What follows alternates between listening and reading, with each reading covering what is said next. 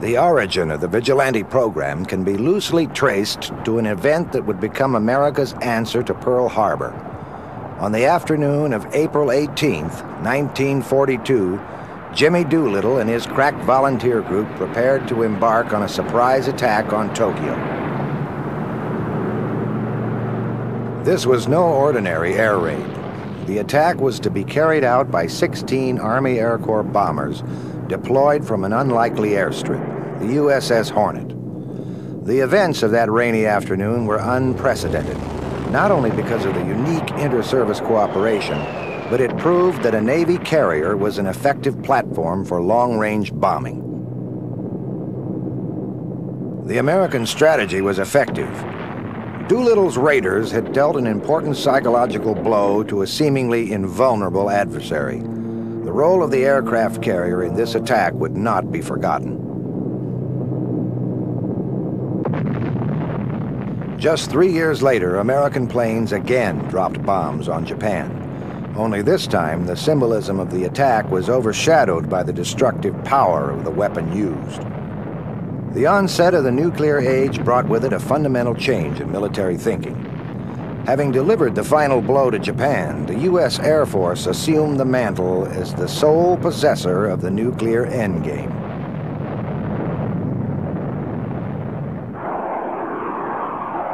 As post-war euphoria gave way to Cold War reality, the Convair B-47 and later the Boeing B-52 Stratofortress were fit for the role of nuclear delivery. Long-range strategic bombing became a defense priority. Now equipped with an aircraft that could reach the Soviet heartland from American bases, the aircraft carrier was deemed redundant. Struggling to find a role in the era of the strategic bomber, the Navy put forth a nuclear-capable aircraft of its own. The North American A.J. Savage was clearly the result of the desire for a nuclear bomber combined with an inherent distrust of pure jet aircraft.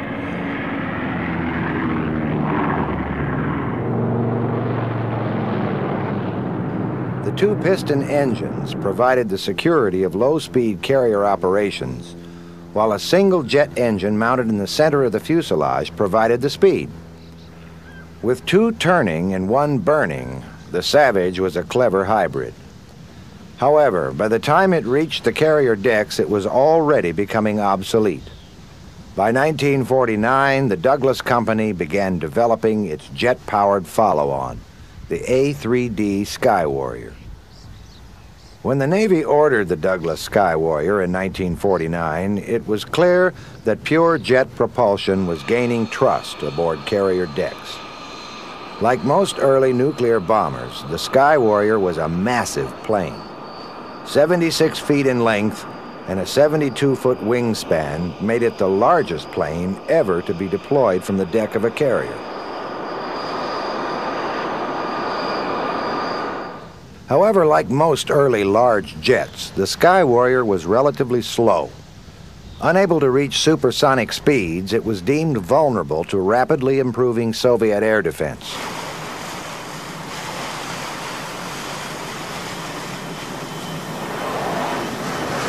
Because of its sheer size, the Sky Warrior was disliked by deck handlers. The absence of an ejection system was unsettling to its three crew members. In fact, many pilots joked that A3D stood for all three dead.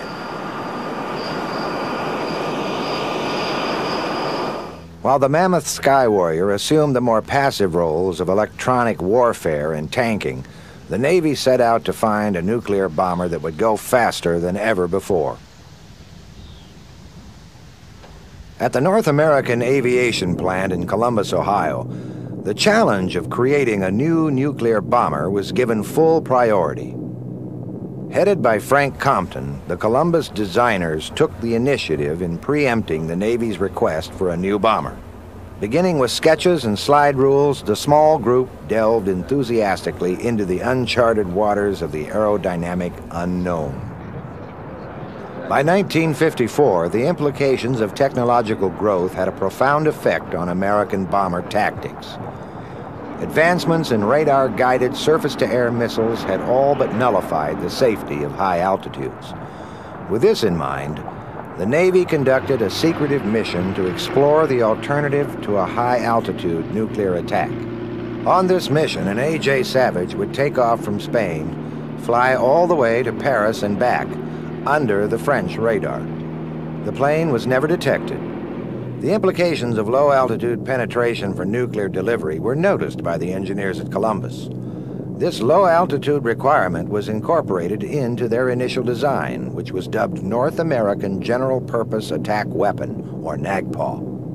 We initially designed we, uh, a low-altitude uh, version uh, with all of the systems in it, the inertial navigation, uh, the automatic uh, systems, uh, we had the rocket engine in it, and all of those things. And we called that the NAGPAW, and that was presented to the Navy in 1953. So the Navy in, studied it, it was our own un, unsolicited proposal, and they thought, well, that's a good idea to do all of those things, which we ended up doing in the Vigilante.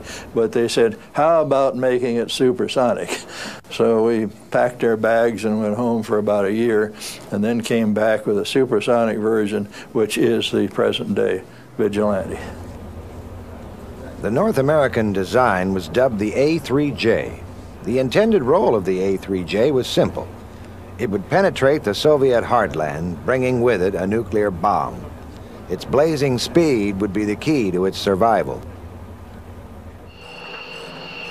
The quest for higher speeds resulted in an airframe like no other at the time. North American test pilot Ed Gillespie remembers his first impression of the Vigilante. In those days, we always felt if an airplane looked good, it was going to fly good. Well, the Vigilante certainly looked good. It looked like it was going Mach 2 and it was sitting on the deck.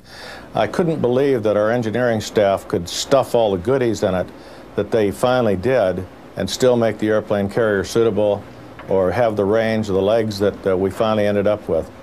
But it was such a good-looking airplane, and it still is to this day, that uh, you just wanted it. It was a Cadillac of the fleet. The Navy's requirements were stringent, to say the least. The Vigilante needed to be launched from a carrier with zero headwind, yet it also needed to cruise beyond Mach 2. Aerodynamically, this is a contradiction. The lift required for the carrier takeoff suggests the need for larger wings. However, larger wing areas prevent the plane from reaching high speeds. Engineers coped with this dilemma by making the wing much thinner than was generally accepted. It was argued by some that the aerodynamic compromises put forth in the Vigilante were drawbacks created by an overly stringent Navy. After all, since aircraft carriers are generally moving, it would be extremely rare for a plane to be catapulted with zero headwind. This requirement was later relaxed, but not until after the engineering staff had taken extraordinary steps in making a flexible airframe that would revolutionize the way military aircraft are designed.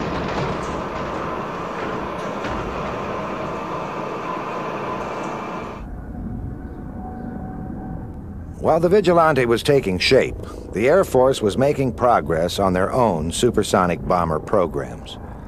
Aircraft evolution during the Cold War was rapid. The mighty B-52 was soon to be outperformed by this, the B-58 Hustler. The Hustler was not only supersonic, it could fly at Mach 2. However, just as the Hustler was entering service, the Air Force began the quest for even higher speeds. Here at the North American Aviation Plant in Palmdale, California, a new airplane was taking shape. The B-70 Valkyrie promised to be the fastest bomber in the world. The Strategic Air Command was enamored by its potential. By 1964, they would have a bomber that would be impossible to catch.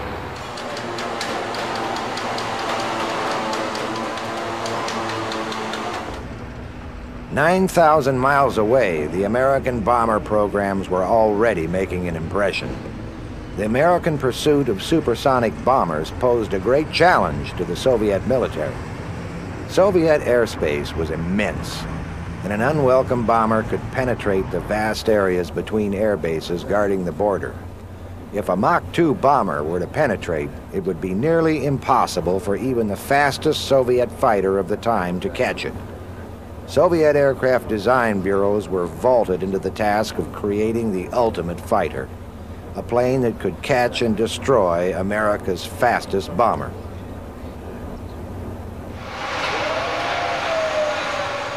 Back at the Columbus plant, the Vigilante was beginning to take shape. By 1958, it was clear that this plane was revolutionary. It was the first plane to have fly-by-wire controls, the first to have a heads-up display, terrain avoidance, and a fully integrated inertial navigation, bombing, and electronic warfare system. Advanced aluminum alloys were also introduced. However, of all the Vigilante's firsts, there is one that few people know about. One of the things that we did in 1955 was look at the so-called stealth characteristics of the airplane, which now are high, high tech.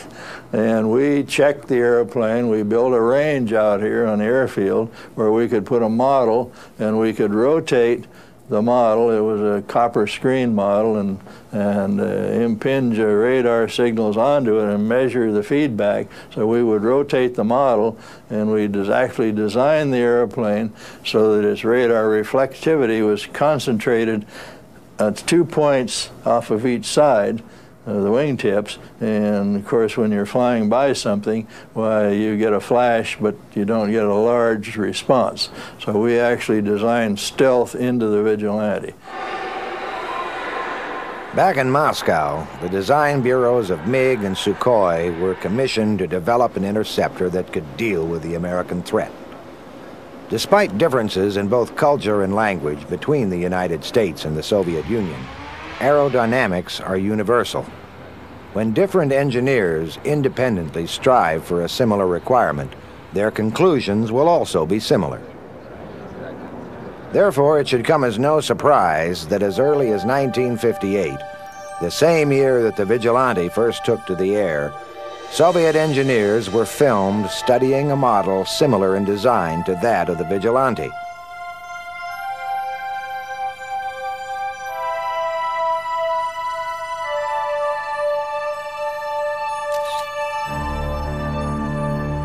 Despite the work done by Soviet designers on their own, it is likely that Columbus, Ohio frequently became the unofficial host of KGB agents. It would be hard for them to miss the sleek American bomber sitting out on the tarmac.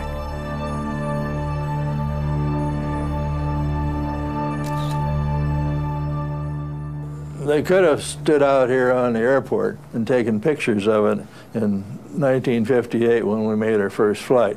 There's really nothing covert about the Vigilante as far as its being there, and certainly the characteristics of it were secret. Um, but uh, the shape of it, uh, looking at it, so I'm, I'm, sure they had plenty of people, which they had all over the world, standing out here at Columbus, uh, taking pictures of every airplane. Nevertheless, the Vigilante became a grave concern to Artem Mikoyan, the head of the MiG Design Bureau. Nikolai Matyuk and Lev Shengelaya of the MiG Design Bureau were put in charge of the Soviet answer to the American bombers. An interceptor needs to be faster than the plane it chases. Therefore, MiG designers began the ambitious construction of a fighter that could push beyond Mach 3.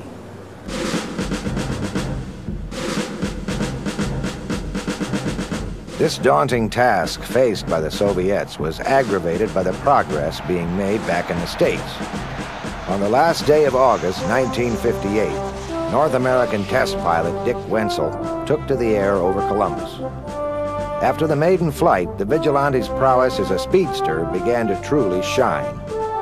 In June of 1960, famed aviatrix Jackie Cochran climbed into the back seat of the Vigilante, becoming the first woman to fly beyond Mach 2.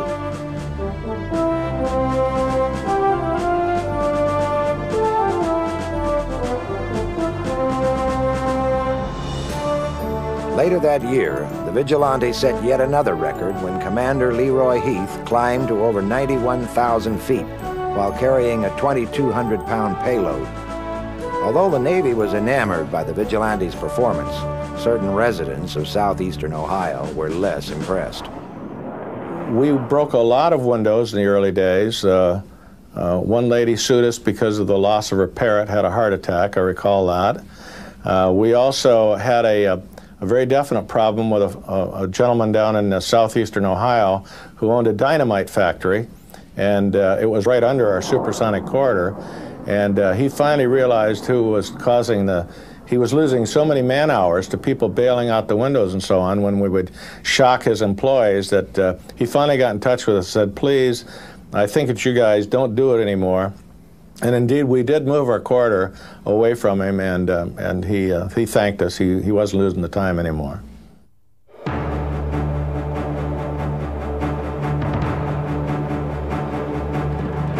To a pilot flying a new plane, the ejection seat is the most important piece of equipment on board. Bucking the trend towards the British Martin Baker variety, North American designed its own and in fact came up with the first seat to safely eject the pilot both above and below the speed of sound.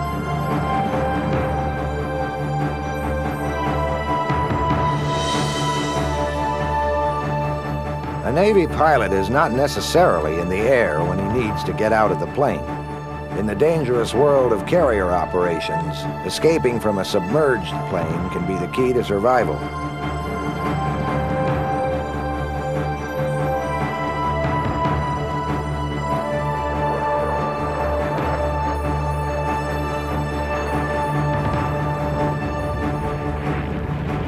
Footage shows both crew members successfully ejecting at zero altitude. However, the system was not error-free. One time, I was flying at 42,000 feet on a first production flight, and a misrigged canopy, and this is the only time it ever happened, I might add, uh, suddenly blew off.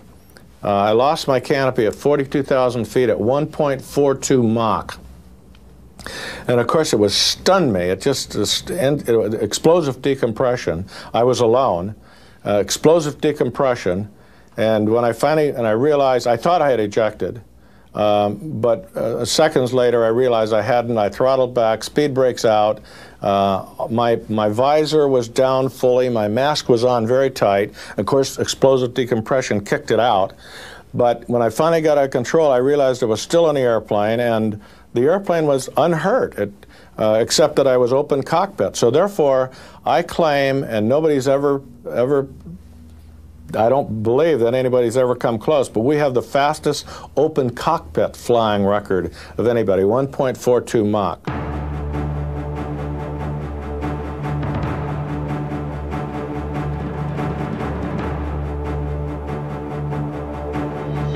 At the beginning of 1961, Two vigilantes were moved from Columbus, Ohio to Kirtland Air Force Base to begin the program's most difficult and complex series of tests, bomb delivery.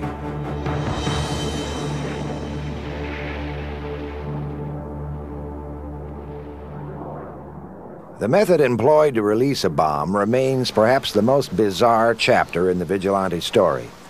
Instead of dropping bombs like a conventional bomber, the bomb was ejected straight out through an opening in the tail of the plane.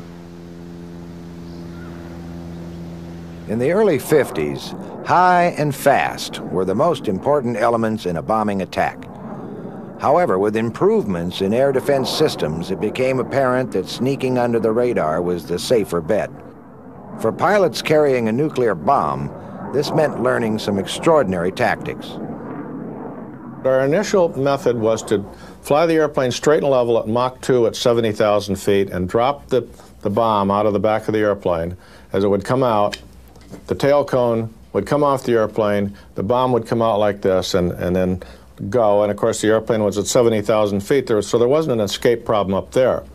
Uh, later on, of course, then we also decided that we could come in low, right on the deck, and, uh, and pitch and, and automatically or manually program the airplane up and to about a 40 degree attitude where the bomb would then come out And as the airplane continued, the bomb would come off and go towards the target. The airplane would then continue around and do an Immelman turn and, and, then, and then go the other way and escape.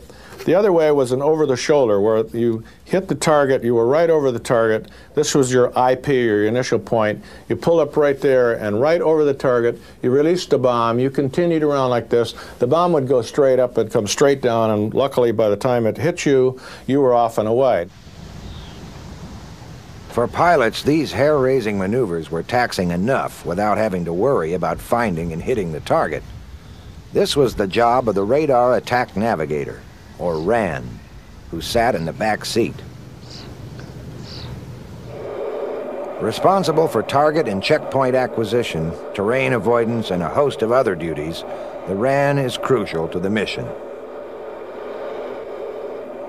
The fact that the, the RAN, or the Radar Attack Navigator, was in a compartment uh, completely isolated behind the pilot with no front view meant, meant that you had to work very hard at coordinating the mission, getting your uh, cockpit to cockpit chatter uh, down to where it was both brief but informative. Uh, and as the navigator in the back would uh, run sensors and navigate the airplane, the pilot in front is uh, looking for visual cues and maneuvering the target in the end game. It was a wonderful experience uh, to, to form the teaming that you saw between pilots and navigators. Before each mission, the RAN sets the course the pilot will follow en route to the target. Flying below radar means that mountains are as dangerous as enemy defenses. This is especially true at night or in poor weather. Former vigilante pilot Captain Joe Dyer is well aware of the importance of the man who sat behind him. Well, I think the RAN that uh, is responsible for me being here today was uh, made up for one of those lapses in attention. Uh, I was a young aviator. We were flying low altitude and high speed, and after a few hundred hours, you got too comfortable at doing that. And I was looking down at a chart or my kneeboard card. The nose of the airplane dipped a little bit. The guy in the back seat says, "Hey, Joe, watch your attitude." Uh, I looked down 50 feet. Recovered nighttime, by the way. I gently recovered, didn't say anything about it, but my knees were knocking in the front, and I remember thinking as we turned to the next target and the navigator was talking to me, gosh, you ought to be quiet, you know, you're almost dead back there. During an attack, checkpoints such as islands or mountains were displayed on a television system. Such checkpoints were used to ensure the pilot was keeping true to course. Because onboard radar defeats the purpose of trying to remain invisible, the navigator was given a state-of-the-art inertial navigation system that provided him an accurate reading of his location without betraying his position. To ensure that the plane was keeping true to course, the navigator would occasionally flash his radar to verify checkpoints and correct any navigational error.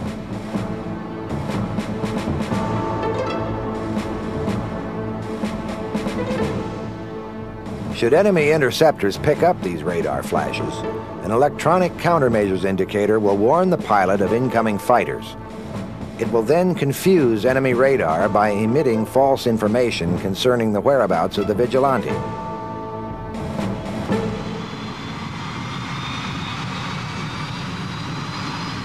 Back in Moscow, the new Soviet interceptor had moved from drawing board to tarmac. This is film taken in the Soviet Union on March the 10th, 1964. It is the first flight of the prototype of what would become the MiG-25 Foxbat. Its similarity to the Vigilante is obvious. The major difference being the large twin vertical fins. MiG designers had less success than their American counterparts when it came to dealing with high-speed stability. This problem would plague the Russians for years to come. Back in Columbus, the vigilantes' problems were political, not aerodynamic. The Air Force had long argued that the strategic attack role was exclusively an Air Force mission. The Navy disagreed. By 1960, discourse over the Navy's role in the strategic mission had snowballed into bitter inter-service rivalry and debate. The vigilante was a casualty. The Air Force convinced Congress that the Navy shouldn't have a strategic mission, and so we converted the airplane from a 70,000 foot Mach 2 airplane very successfully to a low altitude, long range reconnaissance airplane. Enter the RA 5, R being reconnaissance. The shift from attack to reconnaissance took place just as the Vigilante was entering service with the Navy. The first Vigilantes were delivered to Naval Air Station Sanford in Florida in 1961. By January of the following year, they entered squadron service. During this period, the heated debate over whether the Navy should have a role in the nuclear deterrent cast a shadow on the Vigilantes' long-awaited arrival into fleet service. Anticipating that the Air Force would get its way, the Navy recognized its potential in a very different role. The Vigilante was well suited for the role of aerial reconnaissance. Fully loaded with cameras, the recon pilot's only defense is speed. Capable of blazing beyond Mach 2, the Vigilante was clearly fast enough for the job. However, even more important than speed was the fact that it could be launched from a carrier. Unrestricted by the diplomatic and logistical problems encountered when operating from foreign airfields, the Vigilante gave naval intelligence an eye in all corners of the world. This airplane carried uh, fixed focal length cameras from 3 inches out to 12 inches, had an 18 inch panoramic camera that would let you stand miles offshore but still get excellent photography of uh, areas of interest. It was also an all weather machine because it had in that canoe underneath the airplane uh, a side looking radar or an image forming radar that uh, would go uh, through clouds that would bring back uh, image quality or reconnaissance quality uh, photography. The 18-inch pan camera would give you wonderful standoff, almost the quality of today's uh, space cameras in that you could read a, uh, a license plate in uh, downtown, probably still classified cities, uh, coastal cities at, at, at great distance. In 1964, the first reconnaissance vigilantes joined the fleet.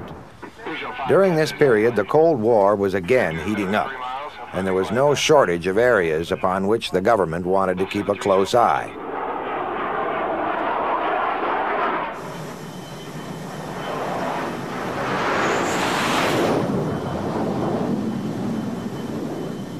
When the Vigilante returned to the ship, intelligence information recorded on tape and film are rushed to a highly specialized group of rooms several floors below the flight deck. This area, known as the Integrated Operational Intelligence Center, is where all of the processing and interpretation takes place. Vigilante pilots had three basic ways of gathering intelligence. One was to fly at very high altitudes to get a picture of activity deep within enemy territory. Another way was to briefly sneak across the beach very low to obtain a detailed picture of enemy defenses several miles inland. The third was a short-range beach reconnaissance to give details of a possible landing assault.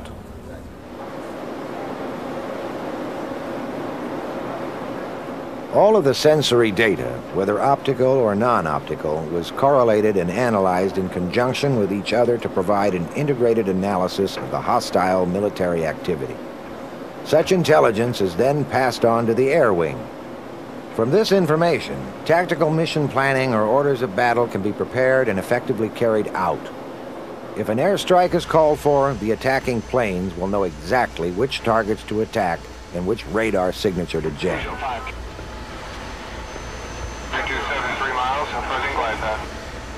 The information provided by the Vigilante is tactical, meaning that it gives a continuous and updated picture of the enemy during a wartime situation.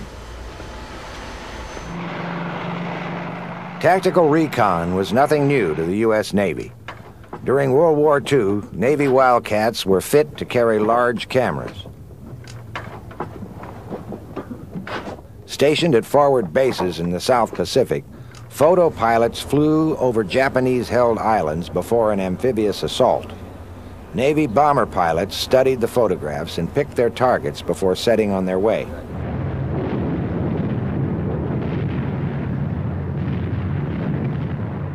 During the Korean War, aerial reconnaissance missions were being flown off the decks of carriers.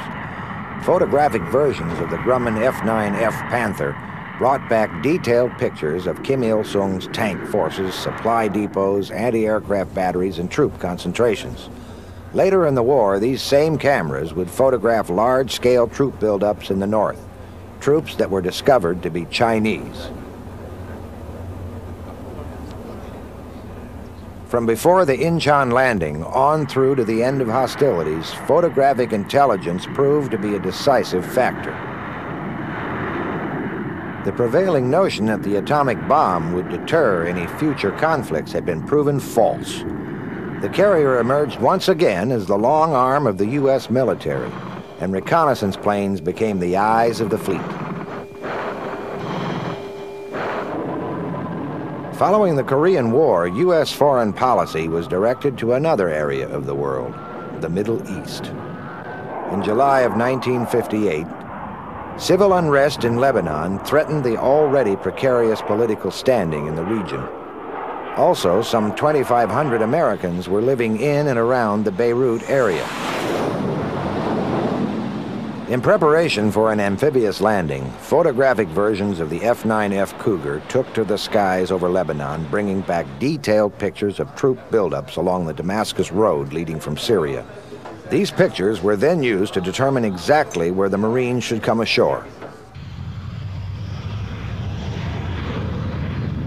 While Navy planes were busy with tactical reconnaissance, the Air Force was keeping an eye on the U.S. military's main area of interest, the Soviet Union. On May 1st, 1960, a Lockheed U-2 took off from Pakistan on a high-altitude recon mission that would dramatically change the defense relationship between the United States and the Soviet Union.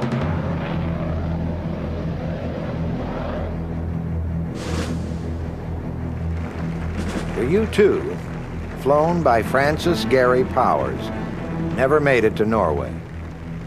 On May the 5th, Nikita Khrushchev announced that Powers U-2 had been brought down 1,400 miles inside Soviet territory. Khrushchev charged America with deliberate aggression and stated that the world could be pushed to the brink of war. The ill-fated spy flight was a diplomatic disaster for the Eisenhower administration. For the State Department, it meant apologies and damage control. For the Pentagon, however, it revealed the need for a faster spy plane.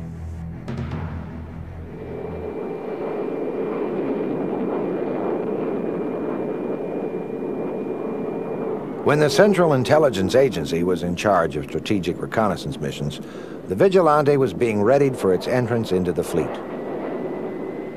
Its prowess in the areas of speed and altitude had not gone unnoticed by the CIA. After all, the plane had initially been designed to penetrate Soviet airspace with a nuclear bomb on board. If it could penetrate Soviet airspace with a nuclear bomb, it could certainly do so with cameras. New engines, specially designed to sustain the plane at a high-altitude supersonic dash, were considered by both the Navy and the CIA. However, as the CIA project was still in the planning stages, a conflict in a different part of the world was beginning to boil over. The destroyer was carrying out a, a mission of patrol in those waters, in international waters.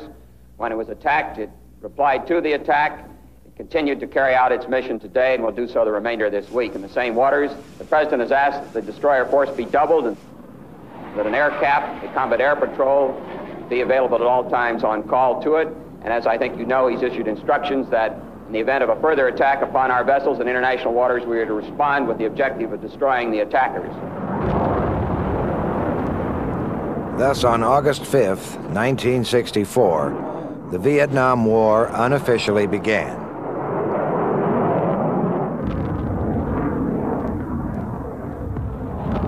Airstrikes targeted North Vietnamese fuel depots, suspected military installations, bridges, and roadways.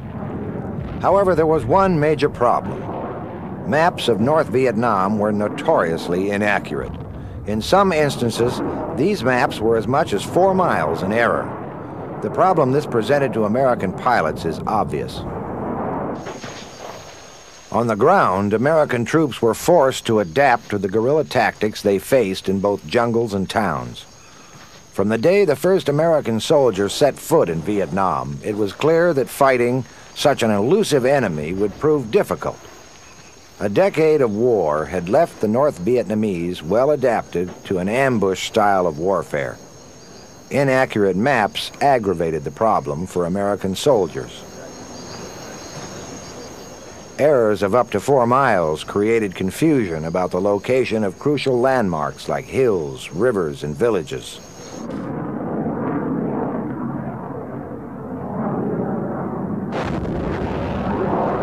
Precision is imperative in close air support. With absolutely no room for error, the need for accurate maps was never more clear. Vigilante pilots entered the war in late 1964 aboard the USS Ranger. Shortly thereafter, additional vigilante squadrons joined the combat area aboard the USS Kitty Hawk, Enterprise, Forrestal, Constellation, and America. The first task of vigilante crews was to solve the problem of poor intelligence and inaccurate maps.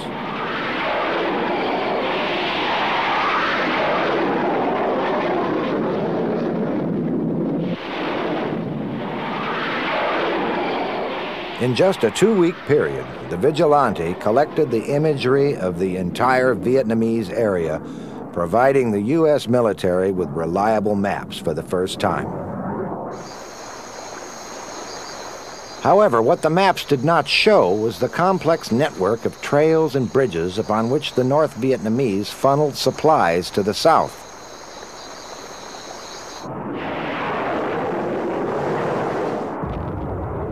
The Ho Chi Minh Trail frustrated the American military.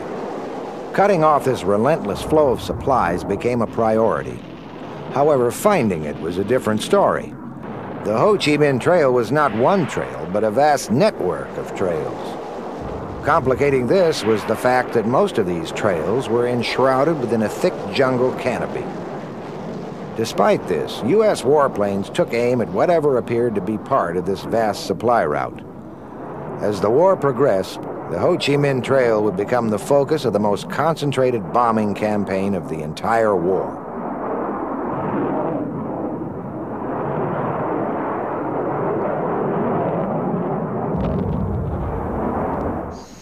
Despite the onslaught of bombs, supplies continued to pour into the south. In an attempt to reveal the North Vietnamese supply routes, American planes began dumping massive amounts of what was then deemed to be a non-toxic defoliant. The use of Agent Orange proved difficult and ineffective. A much cleaner way of looking within the thick jungle canopy was carried out by the Vigilante. The infrared sensors aboard the plane could pick up heat energy from trucks or other activity along the trail.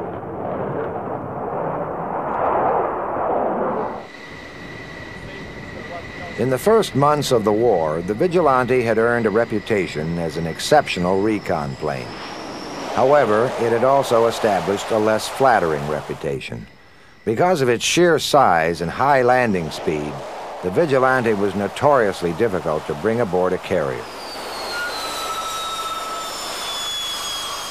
Uh, the vigilante community was made up of outstanding aviators, but that's because we very quickly weeded out those that had trouble at, uh, uh, at the carrier. The carrier, to this day, is the most demanding aspect of naval aviation, and that's where vigilante pilots, the successful ones, absolutely excelled.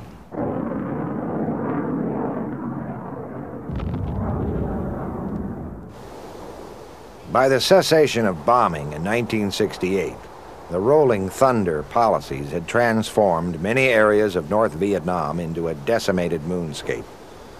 But the North Vietnamese proved resilient as rebuilding commenced immediately when the planes disappeared.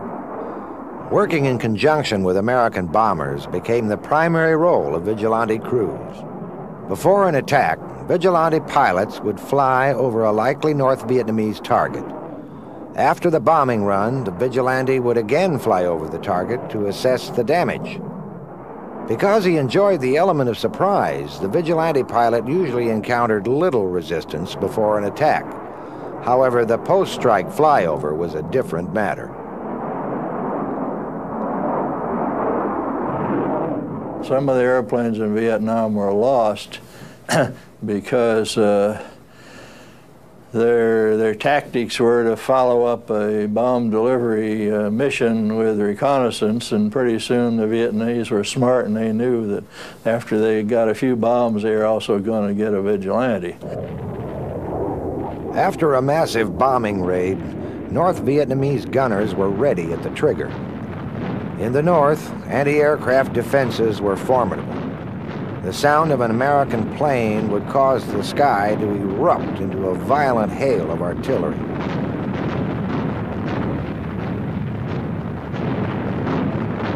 The policy of post-strike reconnaissance proved costly. In fact, more vigilantes were lost over Vietnam than any other Navy plane during the war. Eleven of the 18 airplanes lost were attributed to anti-aircraft artillery, proof that when flying at low levels, even the fastest and most sophisticated airplane is vulnerable to the oldest form of anti-aircraft defense.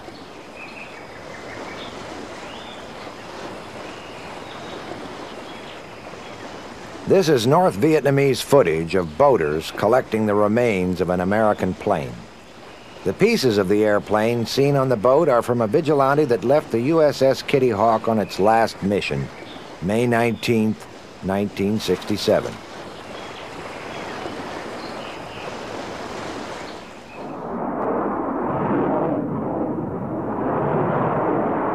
Vigilantes were flown off the decks of carriers up until the ceasefire in 1973. Designed to fly against the best the Soviets had to offer, the Vigilante spent most of its career flying against a more ambiguous enemy in the skies over Southeast Asia. For American pilots, this was typical of Cold War reality. During the brush fires and wars of containment that characterized the Cold War, the aircraft carrier was the strong arm of American foreign policy. For almost 20 years, the Vigilante was the eye of the fleet. And during this tenure, the Vigilante community developed a distinguished reputation. Vigilante community really was just that. It was a small group of about a dozen fleet squadrons, one replacement air group, which serviced both East Coast and West Coast ships out of, first of all, Sanford, Florida, then we moved up uh, to Albany, Georgia, and finally down in Key West, where we finally wrapped up the show. But it was a small community in that everyone knew everybody, and we had our full collection of characters. Uh, we probably had uh, a resident village idiot or two. Uh, we had uh, bears with sore heads, but far and away, the community was made up of very, very professional people that epitomized what in the uh, aviation business we call crew coordination. In 1979, the Vigilante retired from service with the Navy. Without question, it was the most effective and successful reconnaissance airplane ever to operate off the deck of a carrier. Even by standards extant nearly two decades after its heyday, the Vigilante's level of performance remains extraordinary. The technological and mechanical sophistication introduced by its designers have left a distinct impression on modern aviation. One of the Vigilante's major design firsts were its horizontal ramped intakes for its engines. Such intakes are now commonplace on military planes.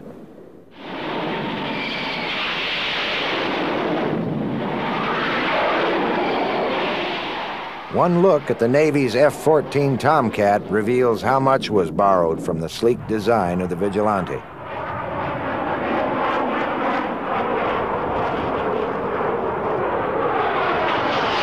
The Air Force's mighty F-15 Eagle has also borrowed heavily from the four-sided Vigilante designers. But whatever became of the once feared Soviet MiG-25, the Foxbat? About a year ago, there was a picture of a, uh, a Foxbat uh, reconnaissance version. And of course, the Foxbat looks very much like the Vigilante, and it also has the same canoe on the bottom of it and so forth that our RA5C had. So I think today they are continuing to have a reconnaissance system, which we no longer have.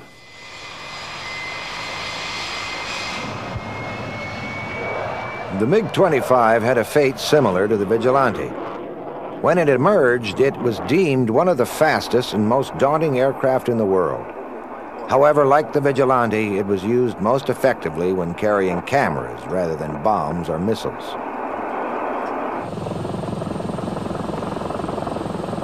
When the Vigilante retired, with it went the Navy's ability to take an integrated picture of the battlefield. During Operation Desert Storm, it would be satellites, not airplanes, that kept an eye on the movements of Iraqi troops and Scuds. However, satellites have their drawbacks. Desert Storm, one of the big lessons learned, quote, was tactical reconnaissance. And uh, they still in Desert Storm had to try to get satellite data to Washington and back to Desert Storm, which was a day later instead of an hour later satellite has a little problem getting electronic intelligence because it only goes over once every hour and a half, you know. We can be there continuously and know exactly where we are. With the end of the Cold War, there are now signs that dedicated tactical reconnaissance may be re-emerging as a defense priority. In the tradition of the Vigilante, an unmanned reconnaissance system currently under development promises to give battlefield commanders an eye in the sky.